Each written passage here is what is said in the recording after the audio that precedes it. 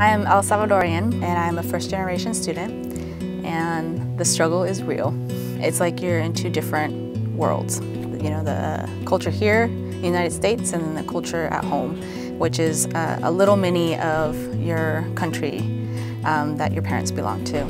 At age 11, I had to work with my dad. Um, that was the only time that I could spend time with him because uh, he had three jobs and so I would do some sheetrocking stuff um, by being the only child and growing up without like you know a uh, strong woman influence um, I kind of became really extremely independent in high school um, I didn't really understand just had trouble with language and not um, understanding exactly how to read I started um, getting in fights and being in different types of uh, drama.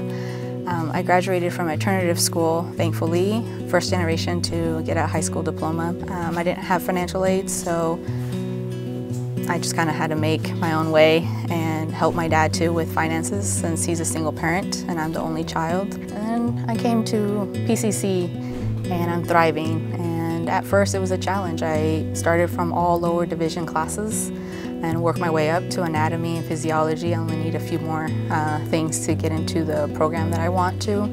My goal and dream is to become a doctor and family and general practitioner. I also have like a learning type of disability, so I learned that um, not that long ago. I, my family is like very taboo about like disability um, and mental and illness and stuff like that, and so it was really interesting having to um, maneuver my way in, in school.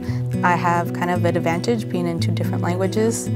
Um, I can see things differently and so being together with peers and programs and getting involved is the best thing that one can do for oneself is getting involved, especially in the community, um, reaching out to others. You raise yourself while helping others raise with you.